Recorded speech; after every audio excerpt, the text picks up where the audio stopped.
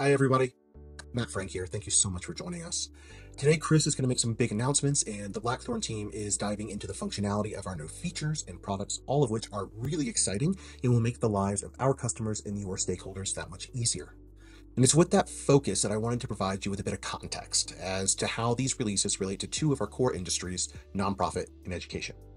Now, every industry is being stretched to do more with fewer resources. And with the rise of remote learning or remote working, making an impact can be that much harder to do with technologies designed for a physically present and location centered world. So, we've worked with individuals and organizations to understand how our apps can better support you through these changes. And this results in updates to our Events app, like a new event builder and a front end UI, designed not only to be eye catching for those joining a virtual or hybrid conference, but those getting out into the world to go to events for the first time in a few years. But it's also easier to use and dynamically responsive to the staff who are using it, allowing them to spend a lot less time on their technology and a lot more time on stakeholder engagement and impact. Communications are changing as well, and with the release of our Smart Scheduler, we're incorporating not only automation, but also the most impactful communication style for donors and learners, SMS. And there are some great Salesforce and industry white papers supporting texting as the most direct way to ensure that your message is received. And we're here to support you in that.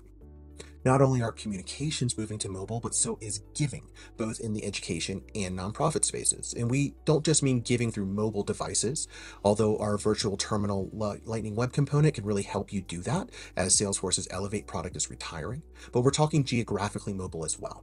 Advancement agents are doing more in the field than at home, and trends surrounding donations at field events show a much higher relative return than those collected at HQ. Mobile payments, both online and offline, that take the easiest, most frictionless methods possible, that tap to pay, can really help support that.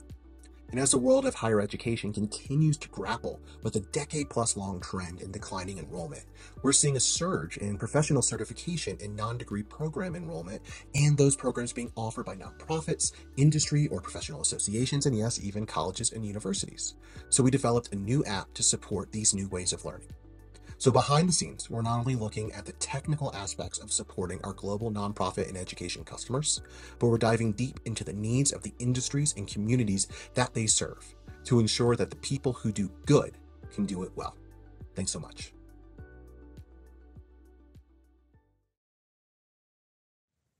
Hi, my name is Andrea, and I'm the Director of Product here at Blackthorn. And I'm excited to kick off this segment where members of our product team will showcase highlights of key new features and functionality that are available with our August release in action. So let's get started with all things new and events.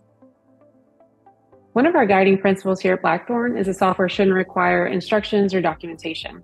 And that's been top of mind with the design of our new event builder. So this is a reboot of our event wizard functionality with support for even more event objects and built from the ground up for a better and more intuitive user experience for event planners and event organizers. It features inline building so event organizers can visualize the output of their work inside the builder in real time as they build their event. Here is Events Product Manager Katie to introduce you to our new event builder. Hey everybody, we're going to start by building an event. Meet Sammy Staffer. He's planning Blackthorn University's annual career fair for students and alumni. Sammy is new to Salesforce, but with the event builder, he can easily build an event. First, he enters basic information about it. Then, he opens up the landing page, an inline builder where he can watch his event take shape. He edits the hero section to add an inviting banner image.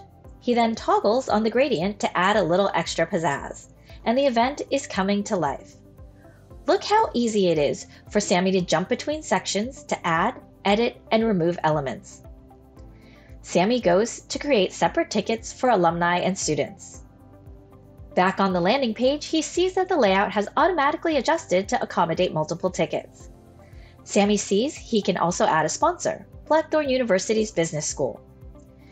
He then adds a couple of FAQs and a map of campus to orient alumni who haven't been back in a while. Sammy saves his work and can immediately see that the event record plus several related records have been created.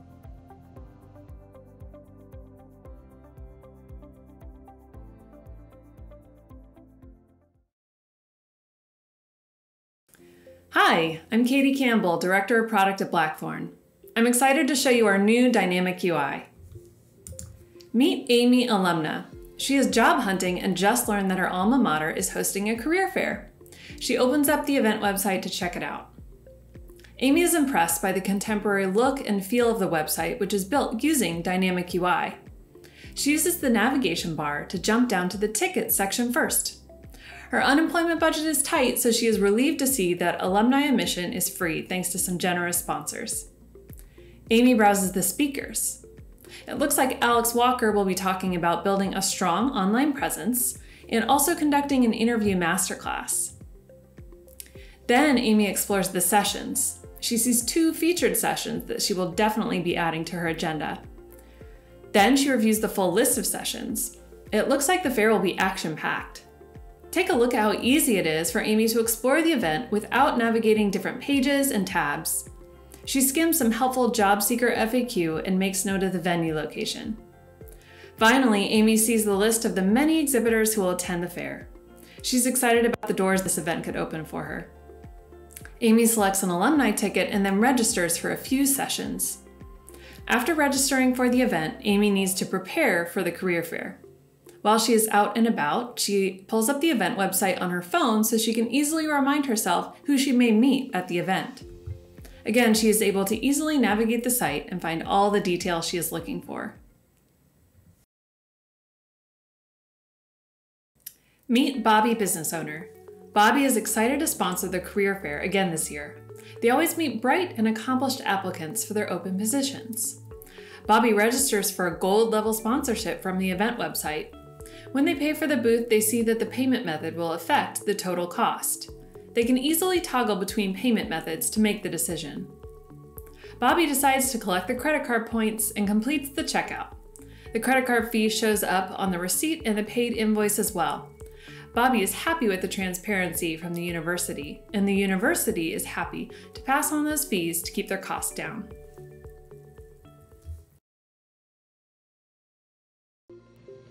Sammy Staffer is ready to set up an email reminder to everyone who registered for Blackthorn University's annual career fair using Smart Scheduler. From the Event Scheduler component, Sammy will select scheduling an email to event attendees in the recipient section.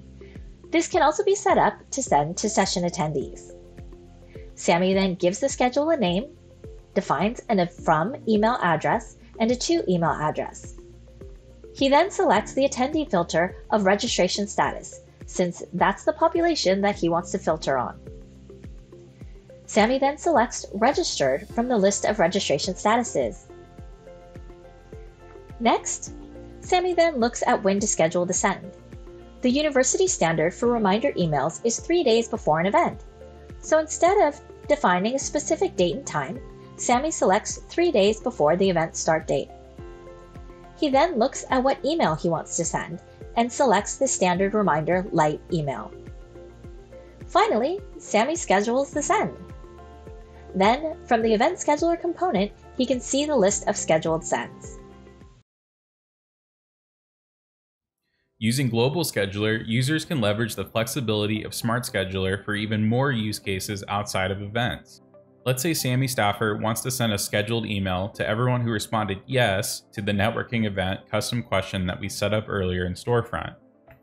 First, we'll navigate to the Smart Scheduler admin tab. Then Sammy will pick messages on the left to view the global scheduler. Here's where we'll see all of our currently scheduled global scheduler sends, and we'll set up a new send now. Then we'll click whether we want to do an SMS or an email. In this case, we'll choose email. Then we'll pick the base object, which in this case will be the BT form submission object. And then we'll choose the related object, which will be the BT form submission answer object. That's where the answers to our custom questions will land in the internal Salesforce object structure. Then we'll give our schedule a name, and then we'll choose the to email and the from email for our global scheduler send. For the to email, we'll just choose the contacts email, which we can get by going to the form submission and then to the related contact, and then finally the contact email field. Next, we'll choose where the activities and tasks will be associated in Salesforce. In this case, we'll just leave it associated with the contact. And then we'll choose the criteria for the form submission and the form submission answer records. For the form submission, we really just want to make sure that it's associated with the correct form. So in this case, we'll choose the form that we set up specifically for the networking event custom question, and we'll just choose the name of that form. So that'll be BT University form in our case here. Then for the answer records, we'll make sure that we're only sending people emails that responded yes to that custom question. So we'll just choose that question's criteria as yes. After we've done so, we can see that the total recipients updates at the bottom to only form submission answers that have responded yes to this custom question. So we're sure now that we're only sending to people that have indicated they're interested in the event. We'll click next here and then we can choose when to send our scheduled email. So we have three options. One is a particular date and time. One is now for a one-off send immediately. And then in the middle, there's the option to set up a schedule. In this case, we'll want to send the email and maybe an hour after one of these form submissions comes through. So we'll choose one hour after the created date. Then we'll pick our email template. In this case, we've already set up a pre-configured template for this scheduled send. Then we'll click next.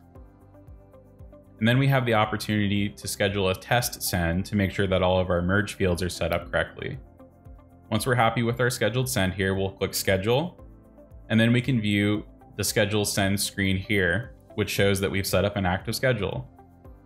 Now, whenever someone responds yes to that custom question and completes checkout, they'll get a confirmation email about an hour afterwards, sending them the details of the networking event.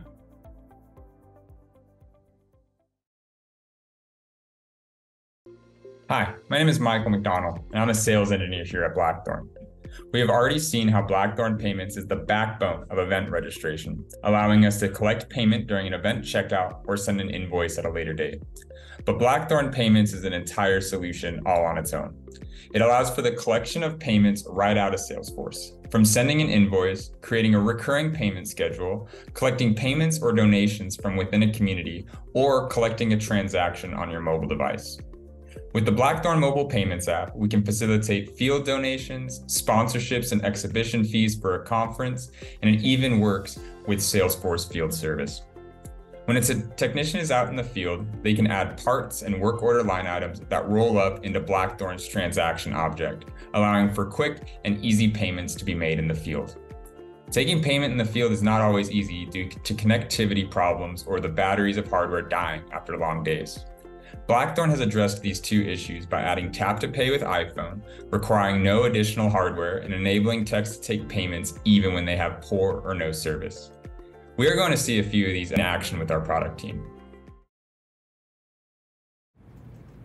Hi, I'm Mauricio, Product Manager for Payments here at Blackthorn. I'm extremely excited to show you a couple of the latest features in our mobile payments app. But before I do, I wanted to take a moment to introduce Field Service Mobile for anyone who isn't familiar with it. Field Service Mobile is an incredibly powerful tool used by field engineers. It's a mobile app that allows you real time access to your Salesforce data, even if you lose internet connection. This means you can extend the power of Salesforce into the hands of those out on the field, and therefore improve efficiency, productivity, and of course, customer satisfaction. I'll now like to play the role of a field engineer, and we're going to follow along as I use field service to manage my work. We'll also learn how Blackthorn Mobile Payments further extends my capabilities to effortlessly take payments on the spot using only a mobile device. So I'm going to start my day by checking the inventory of products stored in my vehicle and any notifications that may be of interest to me. I'll now review my schedule and see an upcoming service appointment. So I open it to get more information and see that luckily I'm only two minutes away and I can even get driving directions directly on the app. On the Details tab, I'm able to see further information about the work order itself. In this particular case, I'm scheduled to perform a pipe repair and installation service.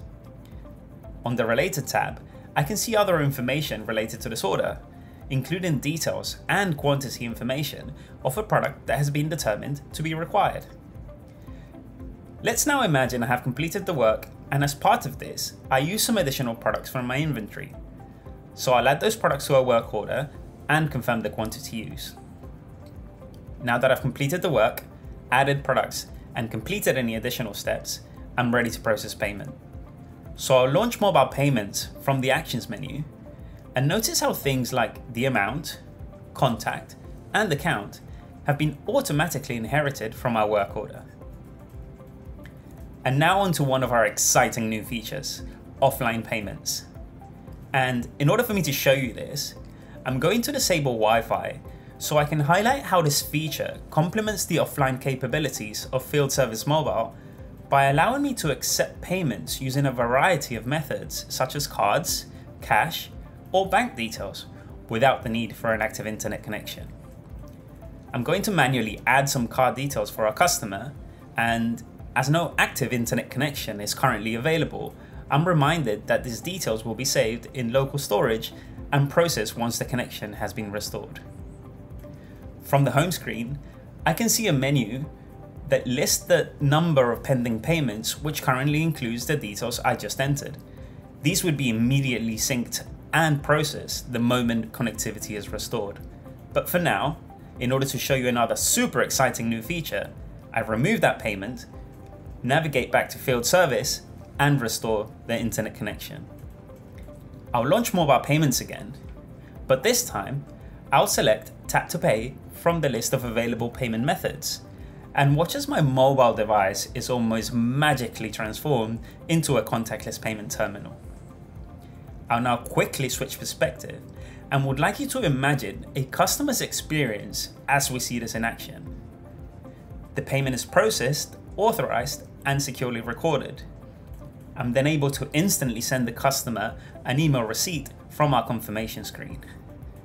Wow, what a great interaction. As a reminder, this tap to pay feature, in addition to requiring an active internet connection, is available exclusively for Stripe customers on both Android and iOS. It supports contactless enabled cards as well as mobile wallets such as Apple Pay and Google Pay running on a variety of devices. So, in summary, together, Field Service and Blackthorn Mobile Payments provide field engineers with an unparalleled toolkit, enabling them to not only manage on site jobs efficiently, but also effortlessly take payments on the go from their mobile devices without the need for any additional hardware and even without an internet connection. Thank you for watching. Hi again. I'm now super excited to talk to you about the Blackthorn Virtual Terminal. Because as an admin, I can simply drag and drop the terminal wherever I need it. I can configure a lot of the appearance and the behavior to adapt the terminal in a multitude of ways to meet various requirements, while still providing a customized user experience everywhere I'd like to use the terminal as part of my payment process. Now, some of you may already be familiar with the existing terminal, however, this enhanced version is built using the Lightning Web Component Framework, meaning it can be used across a much wider range of Salesforce products. So today, I'll be showing you four short demos that will highlight the flexibility and the configurability of the Blackthorn Virtual Terminal.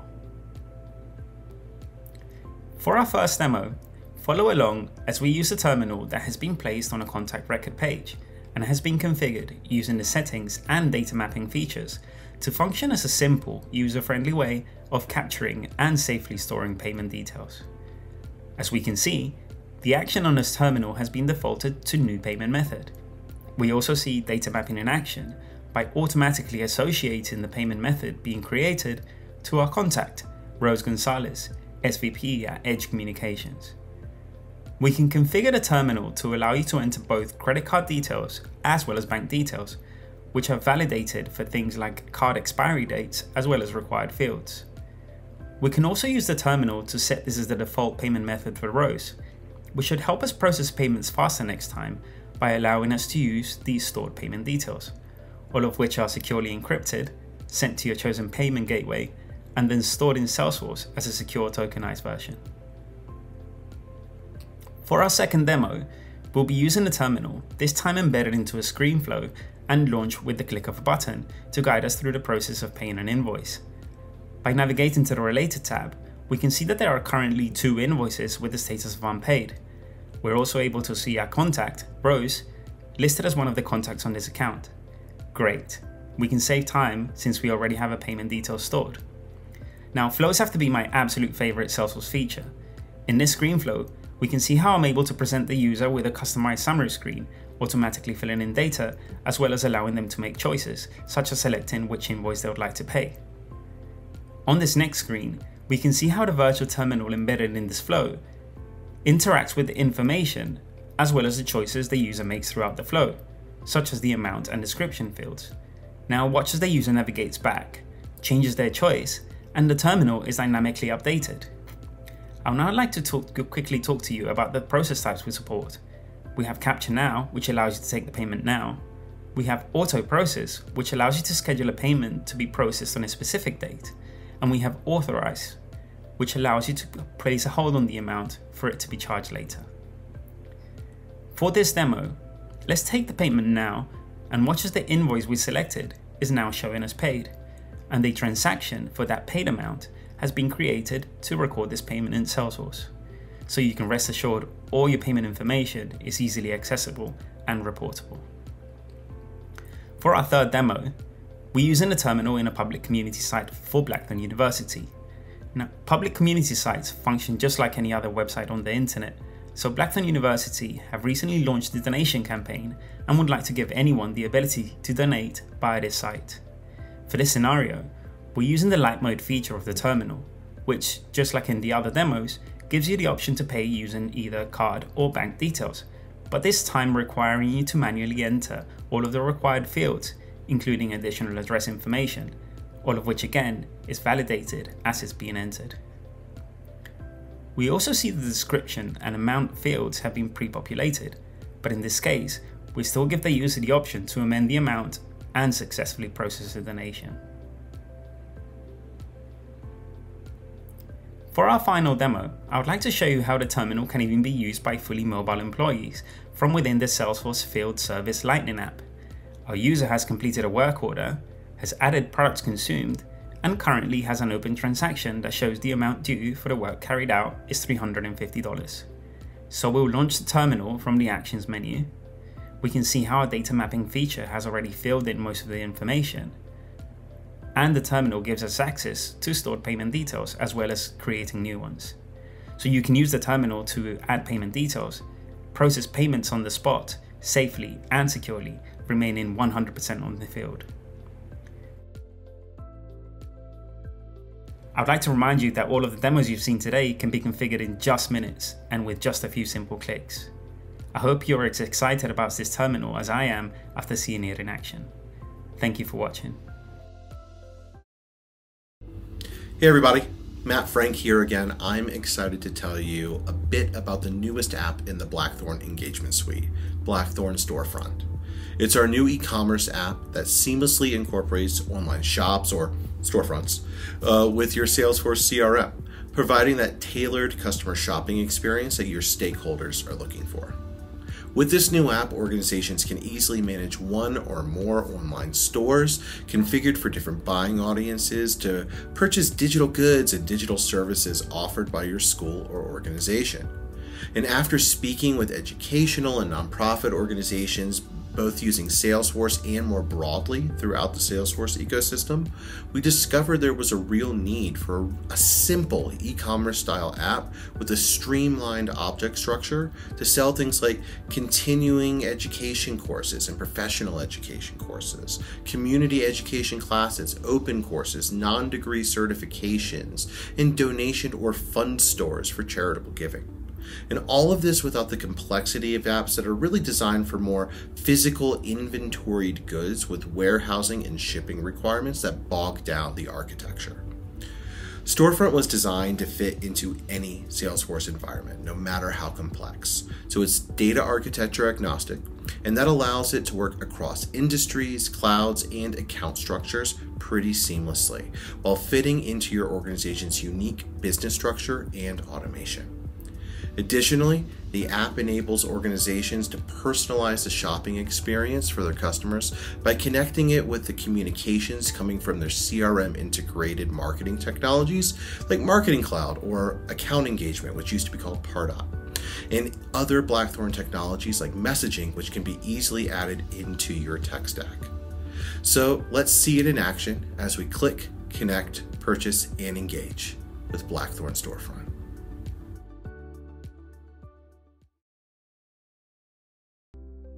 Storefront has everything you could want out of a digital store hosted on Salesforce.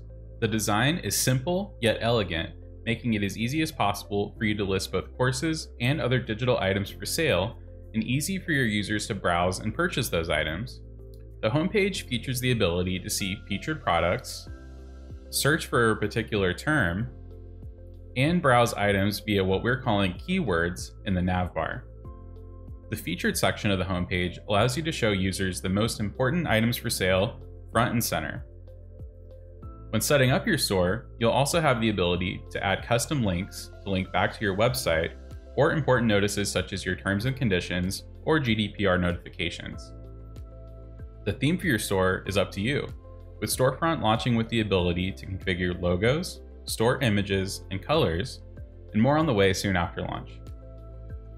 Once a user has selected the store product to view in more detail, they are shown the store product detail screen, showing them everything they need to know about the particular course or other digital item they've selected. All of the text on this page is configurable. In our example of this MBA Smart Start course, we configured the detail page to tell users what the course is about, what to expect in the curriculum, the dates it'll be available, and when it'll occur. Once our prospective student Amy has decided she is interested in purchasing the course, this is where the next important component we built for Blackthorn Storefront comes into play the ability to place custom forms onto your store. Forms allow you to ask your users questions before purchasing, allowing you to gather crucial information about the person purchasing the particular course, or whomever they're purchasing on behalf of. Amy's responses to these questions will be captured in Salesforce and associated with her purchase, as well as her account and contact records, so the data captured here is actionable and able to be reported on. Amy will answer yes that she is interested in the networking event after the course is concluded, as well as providing a dietary preference. When she's done, she'll click Add to Cart, and you'll notice the cart pop up in the top right corner. With Storefront, we've built an e commerce experience expecting that users may want to purchase multiple items at the same time, or purchase items on behalf of someone else, such as an office manager purchasing a leadership course for an entire management team. Once Amy's ready to check out, she'll click Checkout and be brought to the pre checkout page. This page collects the recipient and billing information for the purchase and provides the ability to mark these as two separate people Amy can also provide a promo code for a 10% off coupon that she might have received from a Marketing Cloud or Pardot email campaign, or that she got from an in person event she attended via Blackthorn events. After she's done this, and when she's ready to purchase, she'll click Continue to Payment. Once she's done so, Amy will seamlessly be taken to one of the most important things we have built for Storefront the new Blackthorn checkout. Blackthorn Checkout is the smoothest and most flexible checkout solution we have built to date, and soon it'll be coming to the entire Blackthorn product suite. Entering payment information is quick and easy, and it will support multiple payment gateways at launch, including Stripe, Authorize.net, Spreedly, and CashNet. Once Amy's entered her card number, expiration, CVC, and zip code, she'll click Submit Payment and then she'll be taken to a confirmation screen and she'll get a receipt email in her inbox.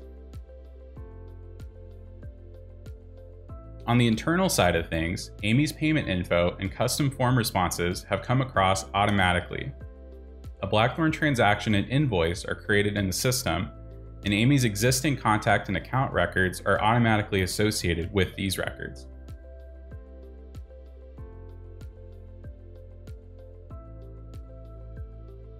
Amy's form response answers for the custom questions she answered are recorded as well, and those are associated with the invoice.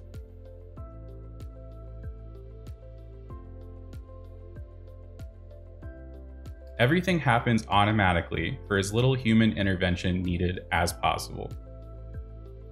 On the internal side, Sammy Staffer can now work with his implementation partner to build reporting and analytics for storefront purchases and form responses. They can also connect purchases and contact info back to the learning management system for delivering course content.